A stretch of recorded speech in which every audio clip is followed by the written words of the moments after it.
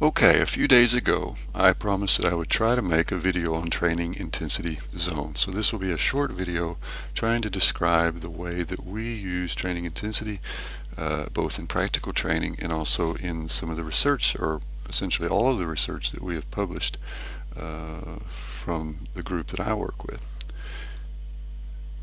So we use five intensity zones for the aerobic intensity range here in Norway. This is from the uh, Norwegian Olympic Federation. We think it's a good idea here to to kind of have the same language even across different sports.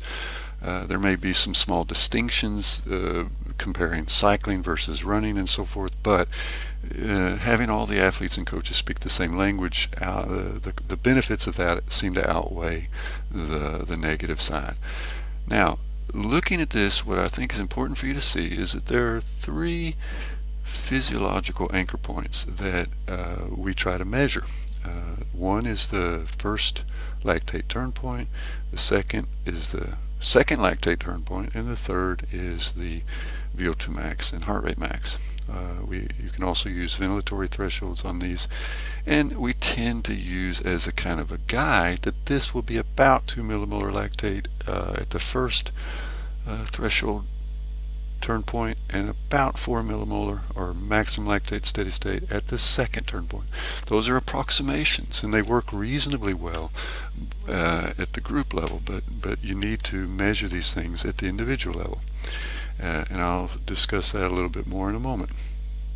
Uh, and then you also have um, other zones, the, the distinction between zone 1 and zone 2 and zone 4 and zone 5, well, those are not based on physiological measurements. They're kind of just uh, practical um, uh, guidelines uh, based on experience. And so that means that these zones are both a combination of physiology and practicality.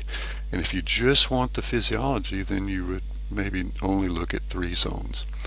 Uh, and I, I, should also add that there are uh, three additional zones in the Norwegian model that are uh, for the anaerobic training uh, areas, anaerobic capacity training, anaerobic power, etc. And here heart rate goes out the window, you might say, uh, in this area.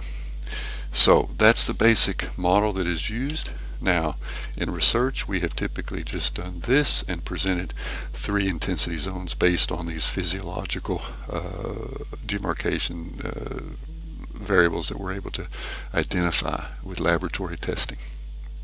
I think pedagogically, for practical coaching, this is actually also very useful just three intensity zones uh, for youth uh, athletes learning to understand training intensity, discipline, and distribution.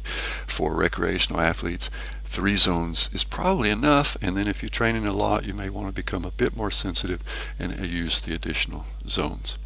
Now, the next thing and the last thing I want to talk about is the fact that these are generalizations uh, and you need to measure these at the individual level to really uh, do a good job with understanding your training intensity zone distribution. Um, so for example, if I look at maximum heart rate, if you use 220 minus age or one of these other regression equations uh, from population data, you can easily make a pretty big error uh, and, and end up with an estimate of your maximum heart rate that is pretty far away from reality. Uh, this spread shows this when from 37 cyclists who were tested under identical conditions and then you, you compare their actual maximum heart rate with their uh, estimated and you see that the deviation is big enough that it could easily result in uh, pretty big errors in training intensity prescription if we were just to use the estimate. So if you're an endurance athlete, whatever level, you know, be willing to, to occasionally measure maximum heart rate. Uh, it plus or minus three beats. There's going to be day-to-day -day variation. There's going to be variability, but if you can get it within that range, then you're not going to make big mistakes in uh, your training prescription. So measure it at least once a year. The other issue is blood lactate. We use 2 and 4 millimolar as kind of guidelines, but we know that there's some sport specificity here. Cyclists may have much uh, higher values at their maximum lactate steady state. There's publications showing this.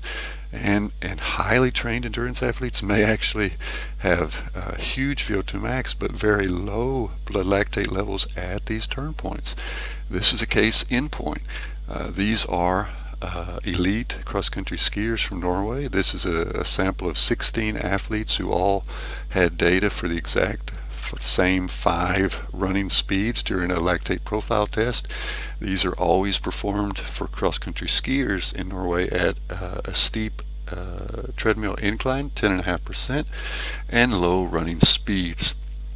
Now, what you should see if you look at these two uh, two y-axes is that the blood lactate concentration for these athletes, male and female, at low intensity is low. It's uh, under 1 millimolar. These are uh, corresponding to Biosen values or lactate pro values. Actually, a lactate pro wouldn't even measure this low. You would just get a low error signal. But uh, 0.6 millimolar at low intensity. And then a lactate turn point uh, corresponding to 1 to 1.3 millimolar blood lactate at 80% of max heart rate and 55 mLs per kg. So that's VO2 max for, for most recreational uh, athletes, maybe even above that. At any rate, you need to measure these things to get it right. If these skiers were to use 2 millimolar or 4 millimolar as their estimates, they would severely overestimate their uh, appropriate training intensities for the threshold or for lower intensity. And, and, and that can also happen for regular folks like us if we don't, uh, if we're not kind of true to the realities. So I think I'll stop there.